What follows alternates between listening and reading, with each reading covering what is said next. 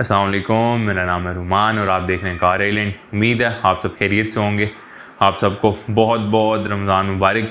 काफ़ी टाइम से कोई वीडियो नहीं आई थी तो हमारे जेड एट मोटर स्पोर्ट्स वाले भाई अब्दुल्ला ने कुछ दिन पहले G S one fifty S C लिया। तो उसने कहा कि आप उसका वॉक अराउंड करें। तो ये काफ़ी अच्छा एडिशन होगा आपके बाइक कैटलॉग के अंदर, क्योंकि जी एस वन फिफ्टी इस टाइम मार्केट के अंदर एक हॉट सेलिंग बाइक है और अपनी बहुत ज़्यादा क्रूजिंग कैपेबिलिटीज़ और जो टूरिंग कैपेबिलिटीज़ हैं, उनकी वजह से बहुत ज़्यादा फ़ेमस है। ऑल दो ये बाइक कम्प्लीटली रेट्रो लुक्स के साथ है, लेकिन फिर भी यंग बॉयज़ इसको बहुत ज़्यादा ले रहे हैं। तो आए चलते हैं, वो स्पेसिफिक फैक्टर्स देखते हैं कि क्यों ये बाइक इतना फ़ेमस हो रहा है और क्यों ये इतनी प्राइस ब्रैकेट में हमारे पास यामाहा का वाई बी आर जी भी आता है। तो क्यों लोग वाई बी आर जी को छोड़ के ये बाइक ले रहे हैं?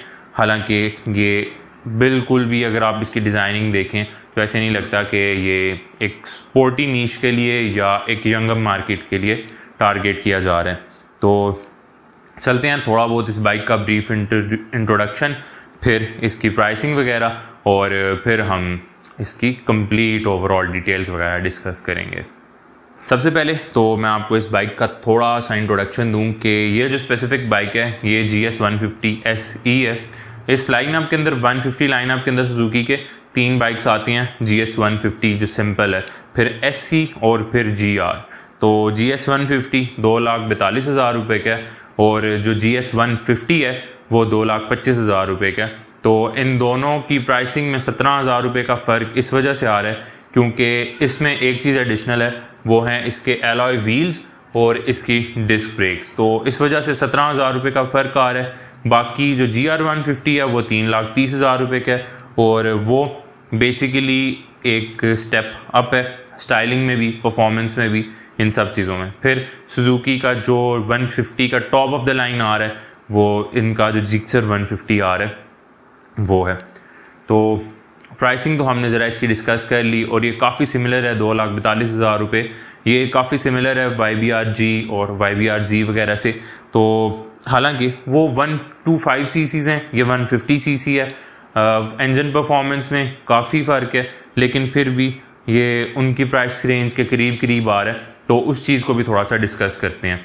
सबसे पहले चलते हैं बाइक की लुक्स की तरफ़, फिर जाएँगे इंजन फिर टेक्निकल स्पेसिफिकेशंस फिर इसकी जो नॉन फॉल्ट्स हैं वो, और फिर वैल्यू फॉर मनी कि आपको आपके पैसों के लिए क्या मिल रहा है। तो लुक्स में कम्प्लीटली रेट्रो स्टाइलिंग है कम्प्लीटली रेस्ट्रो स्टाइलिंग है। कहीं से भी नहीं लगता कि ये बाइक बॉयज़ के लिए या एक यंग जनरेशन के लिए या जो इसके कंपेटिटर्स हैं Y V R one two five G या C V one fifty F उनको टारगेट किया जा रहा है। ये बिल्कुल कंफर्ट ओरिएंटेड और एक यूटिलिटेरियन बाइक है और एक ही चीज़ को जहन में रख के बनाया गया और वो है यूटिलिटी और जिसके ये पैसे पूरे करता है। आप इसकी round headlight round halogen indicators उसके बाद आप इसकी ये वन पीस सीट फिर जो कैरियर लगा हुआ है रियर टेल लाइट के ऊपर, और फ्रंट वाली जो लाइट है इवन के स्टार शेप एलॉय व्हील्स हैं, वो भी थोड़े से आउटडेटेड हैं। तो स्टाइलिंग के मामले में ये काफ़ी रेट्रो है, और इसके ऊपर इतना ज़्यादा फोकस नहीं था। सुजुकी का जो मेन फोकस था, वो था कि ये बाइक डेली यूजेबल हो यूटिलिटी के लिहाज से बेस्ट हो, और प्रैक्टिकल हो। तो उस चीज़ में ये अपने जो सेट गोल था इसका, उस पर पूरा उतर रहा है। और ये कि ये बाइक उस नीच के अंदर काफ़ी अच्छा है। और ये ज़्यादातर टारगेट करता है अराउंड जो थर्टी थर्टी फाइव के लोग होते हैं जो बहुत ज़्यादा स्पोर्टी स्टाइलिंग नहीं चाहते एक Y B R one two five G की। तो उन लोगों की तरफ़ ये बाइक टारगेट किया गया।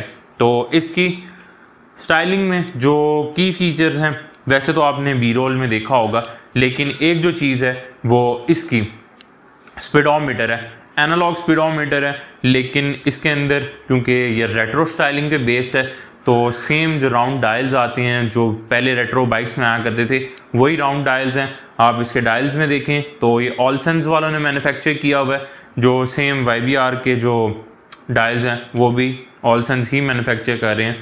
तो इसमें आपके पास ट्रिप मीटर फिर ऊपर स्पीडोमीटर और बीच में इसका जो इंडिकेट करता है कि ये कितना बाइक चल चुका है स्पेसिफिक माइलेज वगैरह। तो वो करेंटली ये बाइक 845 किलोमीटर चल चुका है। फिर उसके राइट साइड पे आप देखें तो एक हेडलाइट का बटन है लाइट का सॉरी इंडिकेटर है न्यूट्रल और इंडिकेटर्स वगैरह की इंडिकेशंस हैं एलईडी इंडिकेशंस है, और फिर आपका एक कम्प्लीटली रेट्रो आरपीएम मीटर बाकी कोई इतनी ज़्यादा फैंसी चीज़ें नहीं है। हाँ यहाँ पे जो स्विच असम्बली है वो ये वेट बैलेंस्ड है, और उसके अंदर यहाँ पे एक चीज़ एडिशनल लगी हुई है, ये इसके ऑक्सिलरी बटन्स ये अब्दुल्ला ने इसके अंदर प्रोजेक्टर लैम्प स्टोरिंग के लिए इंस्टॉल किए हुए हैं। आप ये टॉप बॉक्स भी देख रहे होंगे तो ये टोरिंग के लिए काफ़ी इस्तेमाल होता है। तो इसकी स्विच असम्बली में राइट साइड पे आपको यहाँ पे लाइट ऑन ऑफ़ का स्विच है, फिर उसके बाद इसका स्टार्ट स्टॉप बटन है, और फिर ऊपर इसका किल स्विच है, जो कि वाई में किल स्विच नहीं आता। फिर लेफ़्ट साइड पे light high low turn signals और हॉर्न हैं, जो कि कम्प्लीटली स्टैंडर्ड है। फ्रंट पे आप देखें तो इसने तो खैर ये वाइज़र ऐड किया हुआ है। आजकल लड़के वाई बी आर में भी कहते हैं, उसकी स्टाइलिंग को ही बिल्कुल मार देते हैं। तो ये वाइज़र ऐड किया हुआ है और बाकी जो स्पेसिफिक इसके अंदर एक चीज़ आती थी कि जो इसका बॉडी कलर के साथ मैचिंग इसके मड गार्ड्स आते हैं। वैसे पहले रेड वाले के साथ क्रोम में मड गार्ड्स आ रहे थे। बाकी इसका क्रोम का ही एग्जॉस्ट है। लुक्स में इसको मैं रेट करूँगा सेवन आउट ऑफ़ टेन क्योंकि कोई इतने मज़े की या ख़ास लुक्स नहीं है। यूटिलिटी के लिहाज से बहुत अच्छी हैं कि आप आराम से इसके ऊपर फैमिली को भी बिठा सकते हैं, टैंकी पे बच्चे भी बिठा सकते हैं, अपने हों या किसी के, क्योंकि हमारा मेजर कंसर्न यही हुआ करता था कि YVR की टैंकी के ऊपर आप लोग बच्चे नहीं बिठा सकते, वो स्लाइड करके पीछे आ जाते हैं। तो लुक्स में ये कंपार्टमेंट तो हमने इसका डिस्कस कर लिया। फिर आगे चलते हैं तो हम जो इसकी मेन हाईलाइट है, इसका जो इंजन है, उसको डिस्कस करते हैं। तो सेकंड जो इसका सेलिंग पॉइंट था, वो इसका इंजन है। 150 सीसी इंजन है। Single overhead cam single cylinder four stroke और एयर कूल्ड इंजन है। ये इंजन प्रोड्यूस कर रहा है अराउंड 3.18 हॉर्स पावर इसे आप राउंड ऑफ़ करके 14 भी कह सकते हैं। सेम जो इसका जी आर सिबलिंग है वो भी इतनी हॉर्स पावर प्रोड्यूस करता है और 13.4 न्यूटन मीटर टॉर्क तो जो ख़ास तौर पे इसकी टॉर्क डिलीवरी है, वो आपको बहुत लो आरपीएम से मिलती है। तो जिस वजह से ये टोरिंग के लिए बहुत अच्छा बाइक बनता है, क्योंकि चढ़ाइयों पर इसको आपको टॉप स्पीड नहीं माननी पड़ती, इसकी पिक बहुत ज़्यादा अच्छी है। जिस वजह से आपको एक काफ़ी परफॉर्मेंस में थम फील होता है जब आप शिफ्ट करते हैं वाई बी आर से इसके ऊपर। और ये इंजन इसका जो फ्रेम है, वो टोटल ओवरऑल इसका ड्राई वेट 114 के है। तो ये सफिशेंट है उस वेट के लिए, क्योंकि जो आप अगर देखते हैं Y B R one two five G है, वो वन ट्वेंटी एट के जी का है। तो जब, और है भी वो one two five C C तो हॉर्स पावर में अराउंड फोर हॉर्स पावर का फ़र्क आ जाता है जो बाइक के लिए काफ़ी ज़्यादा है।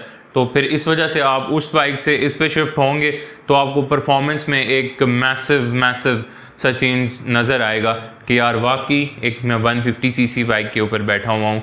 तो ये था। लेकिन इसके इंजन के थोड़े से ड्रॉबैक्स हैं कि ये इतना ज़्यादा रोबस्ट नहीं है जितना यामा ने इंजन प्रोवाइड किया हुआ है। ये इंजन ओनर भी बता रहे थे और काफ़ी सारे फॉरन पे भी ये बात है कि थोड़ी सी मार खाने के बाद या इसका ज़्यादा ख्याल ना रखा जाए तो फिर ये काम निकालना शुरू कर देता है। तो ये इसका एक ड्रॉबैक है। बाकी ओवरऑल ये जो हॉर्स पावर और परफॉर्मेंस फिगर्स हैं, ये अच्छे हैं सफिशेंट हैं और इतना ज़्यादा पेट्रोल भी नहीं इस्तेमाल करता 45 किलोमीटर पर लीटर करता है, जो सेम है बाकी 1 टू फाइव सी के बाइक्स के लिए। तो काफ़ी अच्छा ये इसका एक इंजन पैकेज है। एक ख़ास चीज़ जो मैं आपको बताना चाहूँगा इसके इंजन के हवाले से, वो ये है कि ये जो इंजन है, ये कम्प्लीटली जापनीज़ इंजन है और ये वाहिद 150 सीसी कैटेगरी का बाइक है पाकिस्तान में। जो बिग थ्री की तरफ़ से है टोटा तो कोई बाइक्स नहीं ला रही। सुजुकी या होंडा और फिर आपके पास इन्फिनिटी 150 सीसी वो तो है ही चाइनीज़ होंडा का भी इवन जो इंजन है, वो होंडा चाइना ने बनाया हुआ है। और ये स्पेसिफिकली जो इंजन है, ये सुजुकी जापान की तरफ़ से है। और ये वाहिद 150 जापानीज़ इंजन है यहाँ पे मार्केट में इस टाइम अवेलेबल तो अभी चलते हैं, थोड़ी सी इसकी टेक्निकल स्पेसिफिकेशंस देखते हैं। और फिर उसके बाद हम इसके ऊपर जो ऑक्जिलरीज लगी हुई हैं, उनको देखेंगे, जैसे टॉप बॉक्स लगा है, और उसके बाद इसकी जो एक्स्ट्रा लाइट्स हैं, और जो फ्यूज़ वगैरह, और नीचे जो प्रोजेक्टर्स लगे हुए हैं, और वो सारी चीज़ें भी देखते हैं। तो इंजन में मैं इसको रेट करूँगा नाइन आउट ऑफ़ टेन सिर्फ़ इस वजह से कि ये इंजन वो वाहिद इंजन है जो जापनीज़ है, और आपको एक अच्छी बिल्ड क्वालिटी वाला सस्टेनेबल इंजन मिल रहा है। फिर अभी चलते हैं इसकी टेक्निकल स्पेसिफिकेशंस की तरफ़। टेक्निकल स्पेसिफिकेशंस में सबसे पहली चीज़ जो आती है वो ये है कि इसमें कन्वेंशनल किक स्टार्ट तो है ही, लेकिन इसमें इलेक्ट्रिक स्टार्ट भी आपको दिया गया है। फिर ये कि इसका 12 लीटर का फ्यूल टैंक है इवन दो ये कार्बोरेटर बेस्ड है, लेकिन फिर भी आपको 45 किलोमीटर पर लीटर की ये माइलेज दे रहा है, जो कि काफ़ी अच्छी माइलेज है। फिर उसके बाद नेक्स्ट जो चीज़ है, जो इसका सेलिंग पॉइंट थी, वो ये थी कि इसके 18 इंच के एलॉय व्हील्स थे और फ्रंट में आपके पास सिंगल पॉट डिस्क ब्रेक आती है, जबकि रेयर वाली ब्रेक ड्रम ब्रेक है।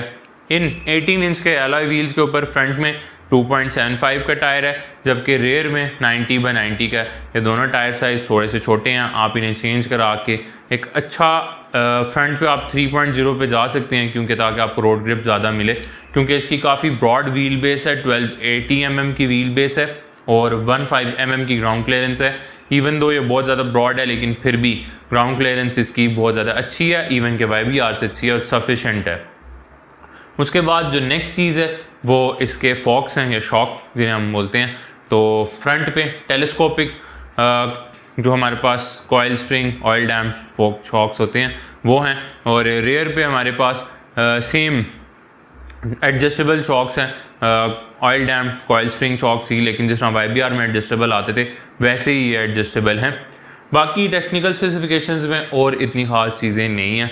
अब भी चलते हैं, ज़रा इसके ऑक्सिलरीज देखते हैं क्या क्या लगी हुई हैं और किस कंपनी की हैं, और फिर हम देखेंगे इसकी जो नॉन फॉल्ट हैं, और फिर एक final verdict the value for money auxiliaries देखते हैं, इस बाइक में जो जो टूरिंग के लिए लगी हुई हैं। तो सबसे पहली आपके पास ये क्री की प्रोजेक्टर्स लगे हुए हैं। जूम इन और जूम आउट फ़ंक्शन के साथ। तो ये दोनों प्रोजेक्टर्स यहाँ पे काफ़ी अच्छी थ्रो देते हैं, ये भी मैं आपको दिखाता हूँ। फिर एक चीज़ जो इसमें एडिशन थी, वो ये है कि इसमें हेलोजन बल्ब आता है, वो चेंज करा के एलईडी लगा हुआ है। एलईडी ही इंडिकेटर्स भी लगे हुए हैं। और ऊपर ये जो छोटी प्रोजेक्टर लैम्प्स हैं, ये भी लगी हुई हैं। अब भी इनका आपको मैं टेस्ट कराता हूँ।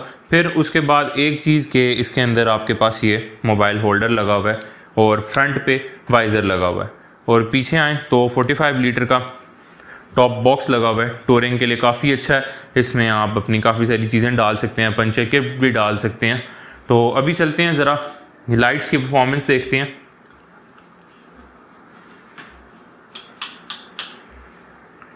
तो सबसे पहले ये जो हमारे पास क्री की जो लगी हुई थी, उनको चेक करते हैं ज़रा। ये देखें। प्रोजेक्टर लाइट्स हैं और काफ़ी अच्छी इनकी थ्रो है। और ख़ास तौर पे अगर आप टूरिंग कर रहे हैं तो रात को एक काफ़ी आपको हेल्पफुल होती हैं। यहाँ से आप इस लाइट को खींच के इसका जो प्रोजेक्शन एंगल है, उसको भी चेंज कर सकते हैं जूम इन जूम आउट कर सकते हैं।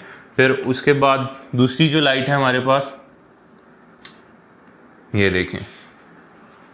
छोटी सी लाइट्स हैं, लेकिन इनकी थ्रो चेक करें।